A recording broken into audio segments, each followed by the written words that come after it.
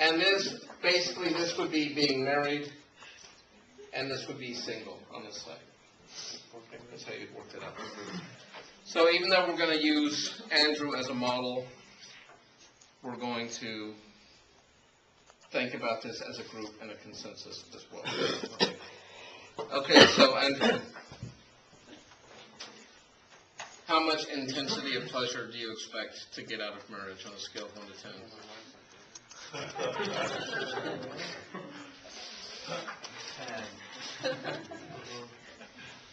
All right, we're gonna have to do two lists, because this is gonna be skewed. I'm gonna put Andrews here in the middle, and then we're gonna do the classes on the outside. How many of you think marriage is a ten's worth of pleasure and happiness and goodness? Nine? Eight? Seven? Six? Five? Wow, you guys are, this is like a marriage crowd. Okay. And Andrew, how much pleasure do you have at this moment being single on a scale of one to ten? Uh, I'm a little bit biased because of my expectation. It's all right. Um, like a, This allows you to have bias. Bias is fine in this theory. uh, like a four and three quarters.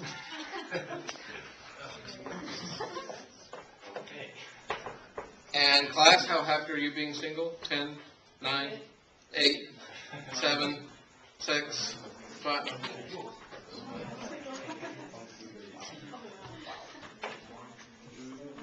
How long do you expect your marriage to last? Forever?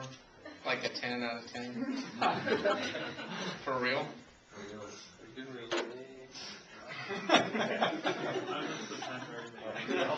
And, um, your singleness, how old are you right now? Twenty-two. Twenty-two, so about a third of your life's been single, so I'll give that a three. Because your singleness is about to end and you don't plan on being single again. Fascinating. And realistically, we know though that over half of marriages end in divorce. So duration has to be below five. Many people marry again though, and then second marriages are more likely to get divorced, so it's probably gonna be less than a four. Uh, and so I think four would probably be a gracious number there. Um, Duration of being single, how long could you be single?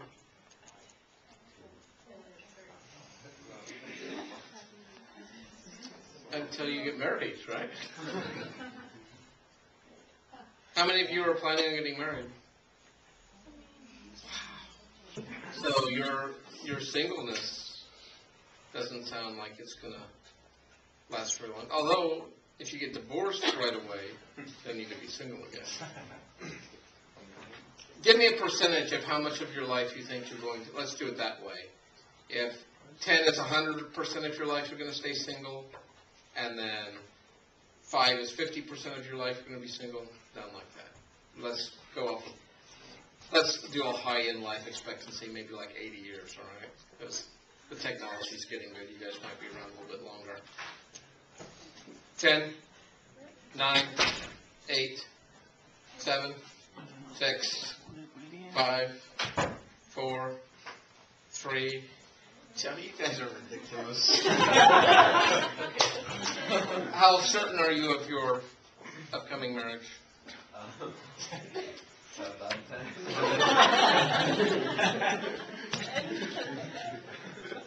Okay.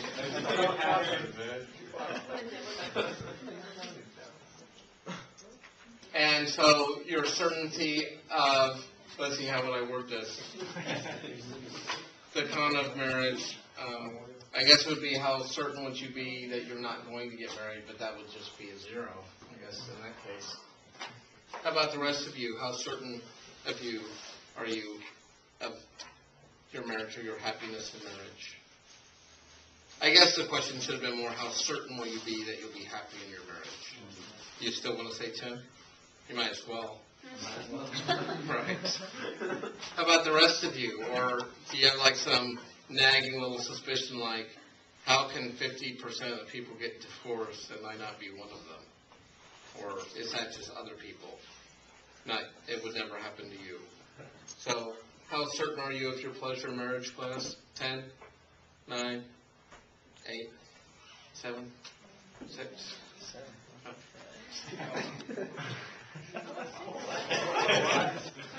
That's a nice and honest answer, I think.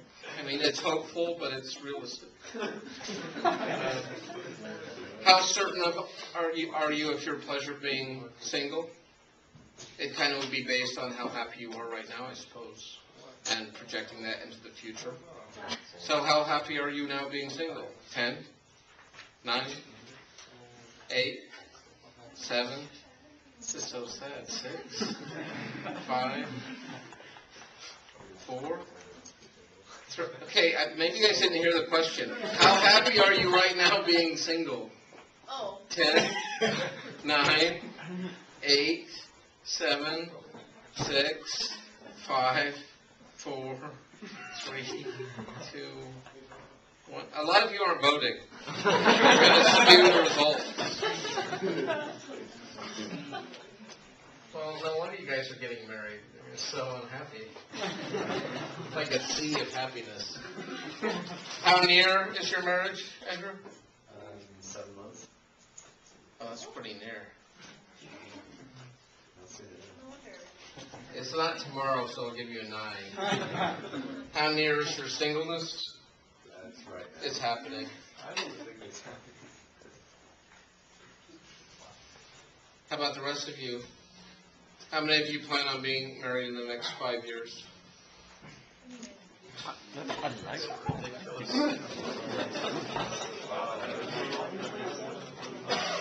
How many of you don't plan on being married until ten years from now? No.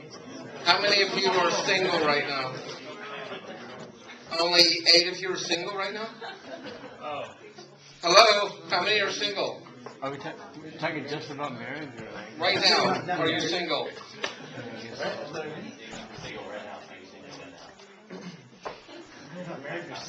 How many more like pleasures do you expect from marriage?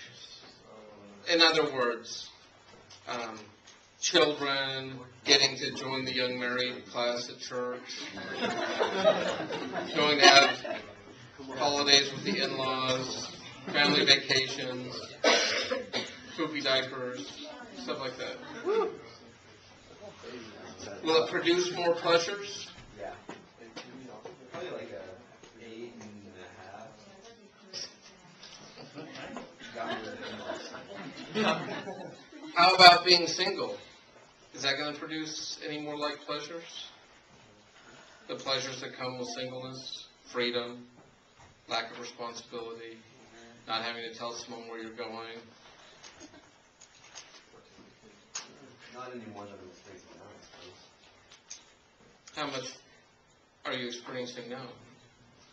Would that go back up? So is that single without a girlfriend or single? Oh, yeah. Because that's like halfway to being married, right?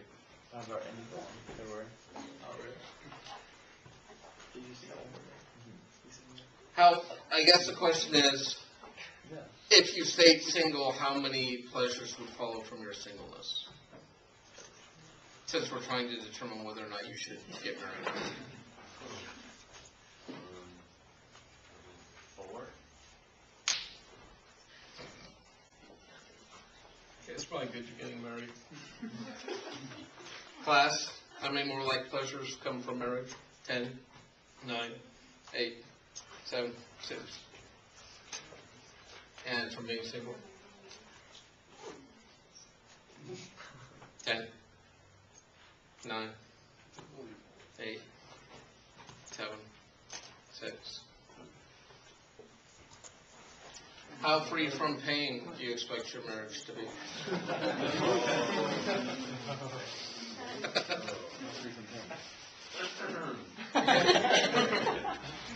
She'll never see this video. Um, Seven?